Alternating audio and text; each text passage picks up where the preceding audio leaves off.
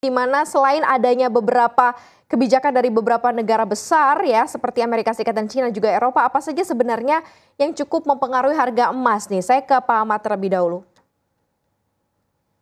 Ya, sebenarnya kalau misalkan kita lihat saat ini ya Mbak terkait harga emas, um, jelas uh, kita bisa melihat dari harga, uh, kita bisa lihat dari kondisi ekonomi global, di mana ekonomi global sebenarnya sudah mulai membaik. Uh, dilihat dari Amerika Serikat yang sudah mulai um, menunjukkan sinyal akan uh, menurunkan suku bunganya, lalu juga China yang sudah uh, ekonominya sudah mulai optimis, begitu juga dengan Uni Eropa. Tapi di sisi lain, uh, kita juga harus lihat basicnya emas ini sebenarnya adalah uh, komoditas ya ketika um, harga harga komoditas pada umumnya akan terkoreksi, begitu juga emas.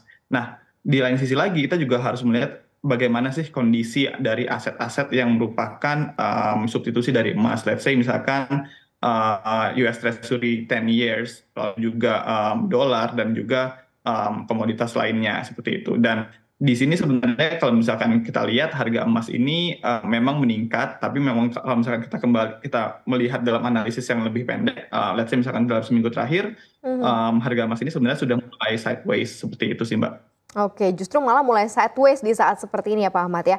Saya ke Pak Herwin. Pak Herwin, kalau dilihat dari sisi harga emas yang perlahan-lahan membaik setelah kemudian para pelaku pasar kan cukup optimis dengan pilihan-pilihan dari The Fed ya yang akan melunak di mana harga emas akhirnya menguat eh, juga begitu ya ditopang oleh pernyataan dari ECB yang mengindikasikan kembali lagi akan mengakhiri suku bunga dan juga pemulihan ekonomi China yang secara tadi uh, spesifik juga sudah dijelaskan oleh Pak Mazudi ya. Tapi seperti apa sebenarnya dampak positifnya kepada industri atau uh, produsen uh, perusahaan produsen emas nih, Pak Herwin? Ya, uh, terima kasih Bu Maria. Ya tadi benar seperti, seperti yang sudah disampaikan sebelumnya oleh Pak Pak Zuhdi ya.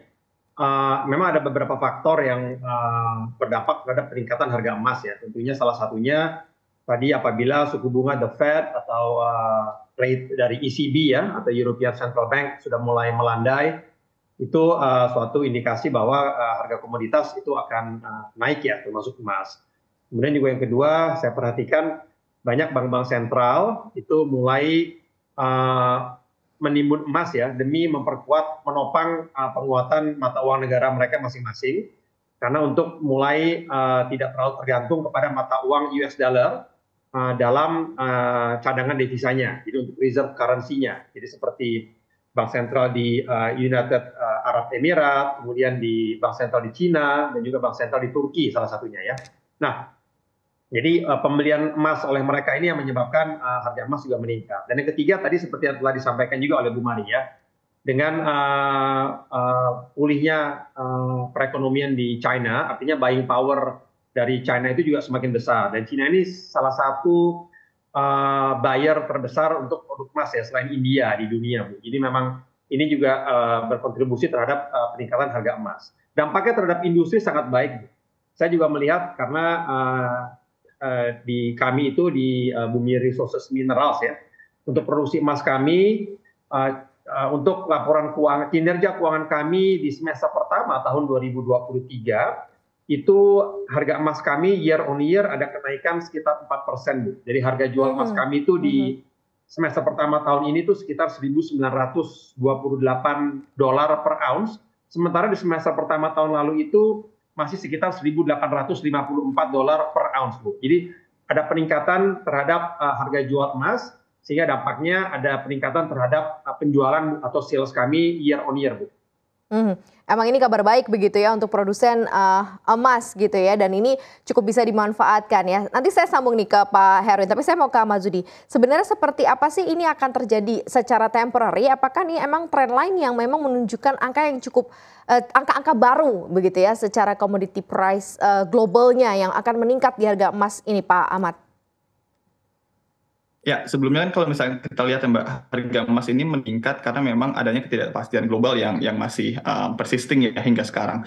Tapi di sisi lain, um, banyak analis yang sudah memprediksi kalau ketika kondisi ekonomi global itu membaik, ternyata uh, semestinya harga emas itu sudah mulai melandai sedikit. Tapi di sisi lain sebenarnya yang kita lihat sekarang sinyal-sinyal premium global uh, mulai membaik malah memberikan dorongan daya beli yang salah satunya menyebabkan harga emas juga ikut naik seperti itu. Lalu di sisi lain um, di awal minggu ini kita juga udah, udah melihat nih ada um, sentimen positif lain untuk harga emas yang mendorong harga emas itu naik lagi. Let's say misalkan uh, apa namanya yang Fitch rating baru menurunkan uh, rating Amerika Serikat dari AAA menjadi AA itu udah jelas ternyata menimbulkan sentimen kalau misalkan uh, US itu belum belum terlalu baik nih kondisi ekonominya. Jadi aset-aset uh, financial dari US itu pada akhirnya nanti bisa nih kembali lagi ke emas yang mendorong harga emas untuk naik lagi seperti itu, Mbak. Berarti orientasi pilihan untuk ke safe havennya akan cukup tinggi ya. Berarti permintaan akan cukup uh, tinggi dalam jangka menengah uh, panjang nih, Mas Ahmad.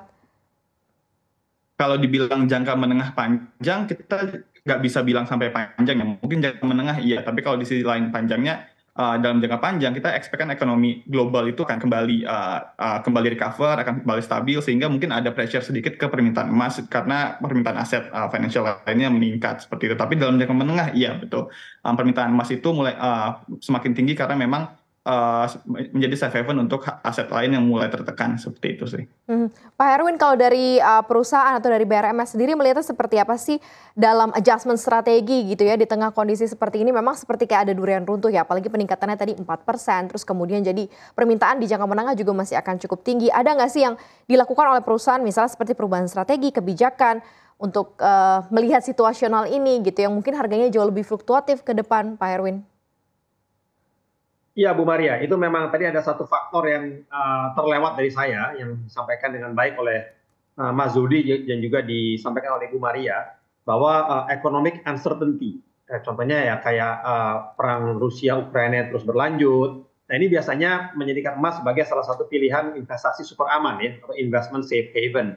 Itu juga salah satu pendorong uh, harga emas yang terus meningkat. Untuk strategi perusahaan Bu, biasanya kalau terutama kayak perusahaan kami Bu ya, yang memang saat ini sedang dalam taraf peningkatan kapasitas uh, pabrik emas kami yang kedua yang baru selesai kami bangun di akhir tahun lalu Bu ya. Jadi terlepas dari uh, naik turunnya harga jual emas, uh, peningkatan kapasitas pabrik kami itu terus berlanjut Bu. Jadi memang hmm. ya kita alhamdulillah Bu uh, uh, apa pun yang kita produksikan emasnya sampai saat ini tuh uh, terjual 100% Bu. Saat ini ke pasar domestik. Namun tidak ada bedanya karena kita juga harganya mengacu ke uh, London Metal Exchange, Bu. Mm -hmm. Contohnya di tahun lalu, Bu, di semester pertama tahun lalu itu produksi emas kami itu sekitar 82 kg. Itu full year itu itu semester pertama tahun lalu, Bu ya. Sementara di semester pertama tahun ini itu produksi emas kami sudah uh, 236 kg.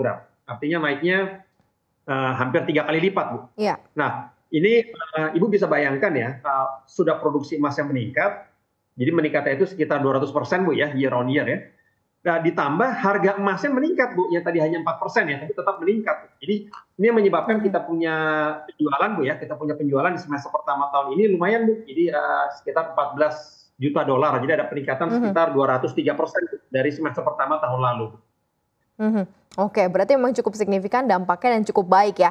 Tapi sebenarnya kalau dilihat dari kondisi perubahan harga emas dunia ini cukup mempengaruhi keputusan investasi atau mungkin ekspansi dari perusahaan penambang emas di Indonesia nggak sih Pak Herwin kalau dari Anda?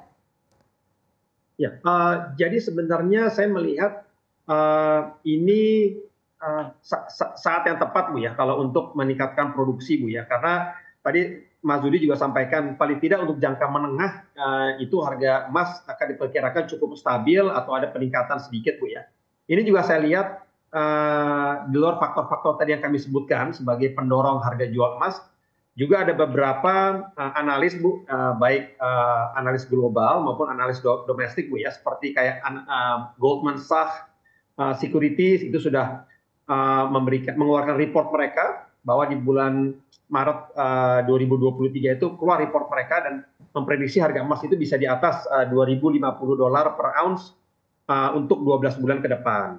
Demikian juga kalau di lokal ada Sukor Invest, ada Sukor mm -hmm. Sukor Securities namanya mm -hmm. Ada juga KB Valburi Securities okay. yang mereka juga berpandangan harga jual emas itu bisa di, di atas 2000 dolar Bu uh, di tahun 2023 dan di tahun 2024. Jadi ini buat industri saat yang tepat untuk uh, meningkatkan produksi emasnya Bu, mengingat hmm. harga emasnya juga cukup stabil dan akan meningkat. Oke, uh, saya ke Pak uh, Ahmad Zuri. Pak Ahmad, ke, sebenarnya seperti apa sih uh, signifikannya juga nih kenaikan yang terjadi secara real, real harga komoditinya cukup atau tidak bisa mendongkrak harga saham emiten-emitennya. Jadi akhirnya investor pun ada pilihan ya, ada satu emiten-emiten emas dengan uh, sentimen sepositif ini cukup baik juga untuk uh, mulai dikoleksi. Anda melihatnya seperti apa nih Pak Ahmad? Iya, betul. Kalau misalkan kita lihat ya Mbak, um, emas ini kan secara year to date udah naik 6% ya dari awal uh, dari hmm. akhir tahun lalu. Nah, di sini kalau misalkan kita lihat lebih dalam um, bagaimana sih hubungannya dengan um, kondisi keuangan dan bagaimana dengan uh, harga let's say misalkan harga saham dari emiten yang bergerak di bidang pertambangan emas. Um, sebenarnya banyak faktor ya, tapi memang salah satunya adalah um, dari harga komoditas yang utama yang mereka produksi yaitu misalkan emas. Memang kalau misalnya kita lihat saat ini uh, ada dampak dari uh, apa namanya high base tahun lalu di mana harga pertambangan itu harga emiten-emiten pertambangan itu sudah cenderung tinggi dan di tahun 2023 ini kami melihatnya memang tetap uh, apa namanya merupakan tahun koreksinya. Walaupun uh, harga supportnya itu tetap cenderung kuat karena memang di sisi lain harga emas yang tinggi itu juga mendukung uh, perencanaan produksi dan juga perencanaan uh, keuangan perusahaan seperti itu. Tapi Uh, secara garis besarnya kalau kita melihat di tahun 2023 ini karena ada faktor high base dari tahun lalu mm-hmm. yang harga harga saham sudah meningkat gila-gilaan ini merupakan masih merupakan tahun koreksi seperti itu sih Mm-hmm. Kalau tadi beberapa analis yang tadi disebutkan Pak Herwin bahkan merasa yakin bahwa mungkin akan tembus di atas 2000 dolar per troy ounce. Apakah Anda juga mm-hmm. melihat hal yang sama bahwa potensi itu besar sekali untuk uh, emas secara global dari uh, price-nya?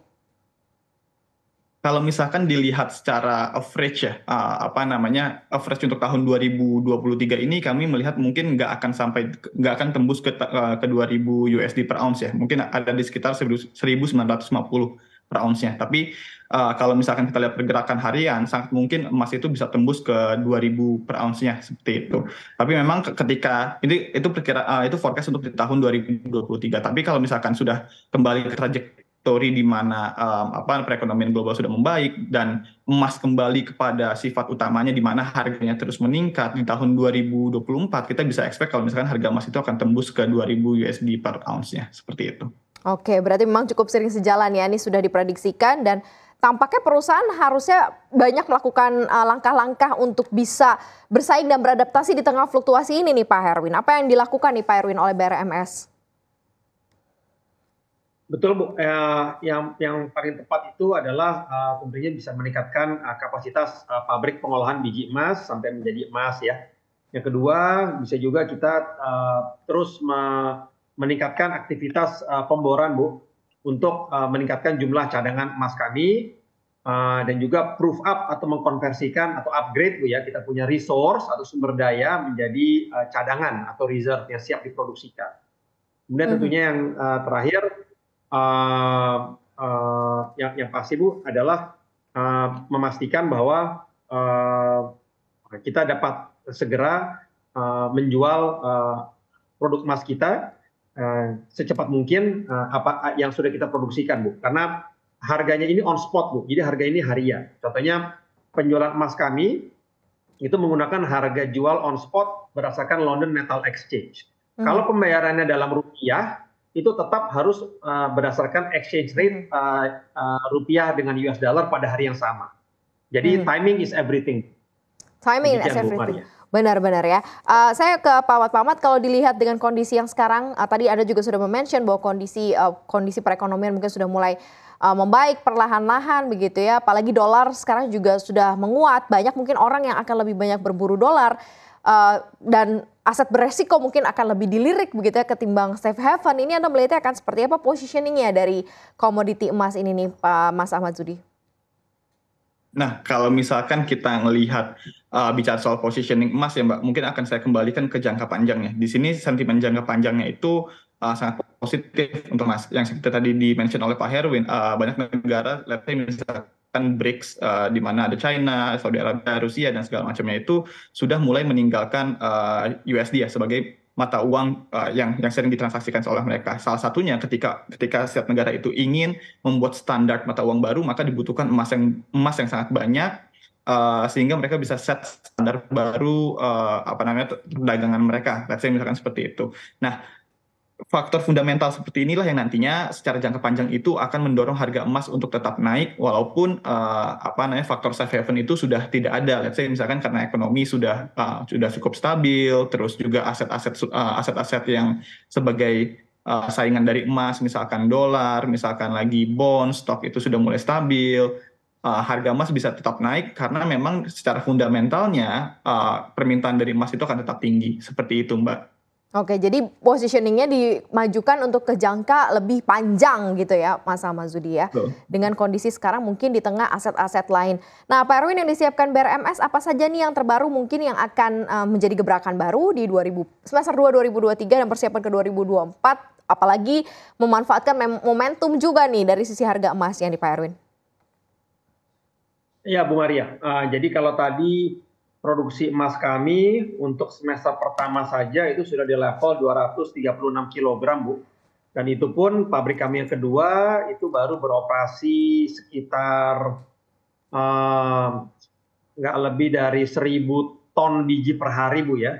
Sementara di target kami itu di bulan Agustus September ini kapasitasnya sudah meningkat menjadi full Bu, yaitu 4000 ton biji per hari. Artinya untuk full year 2023 sudah pasti ada peningkatan yang cukup signifikan dari produksi emas kami karena pabrik emas kami yang kedua sudah beroperasi full Bu kapasitasnya. Demikian Oke. Bu. Nah, untuk prospek pertumbuhan di tahun ini seperti apa Pak buat perseroan? Uh, saya rasa cukup baik Bu. Uh, target kami mungkin year on year sudah pasti ada peningkatan yang signifikan dari produksi Bu dan juga dampaknya akan ada di kinerja uh, keuangan kami Bu ya. Uh, menurut saya sih kalau semester pertama saja kita sudah di 230 kilo, mestinya kan kalau full year bu, kalau di annualize itu sebenarnya sudah di angka 470 eh, kilo bu ya produksi emas mm-hmm. kami ya. Mm -hmm. Namun kita namun kita tidak akan proporsional bu karena uh, kapasitas pabriknya meningkat terus bu. Jadi sudah pasti di atas uh, targetnya di atas 500 kilo mungkin bu ya targetnya produksi emas kami bu.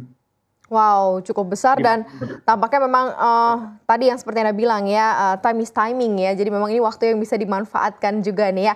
Sedikit dari Pak Mazudi mungkin sebagai penutup uh, seperti apa potensi uh, potensi untuk tadi kan sempat kita sounding juga untuk saham-sahamnya.